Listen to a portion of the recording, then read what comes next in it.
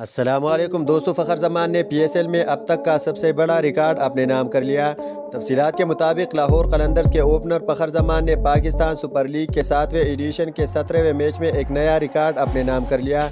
मुल्तान सुल्तान के खिलाफ सैंतीस गेंदों पर साठ रन बनाने के बाद फ़खर अब लाहौर कलंदर्स के लिए एक ही एडिशन में सबसे ज़्यादा रन बनाने वाले बल्लेबाज बन गए।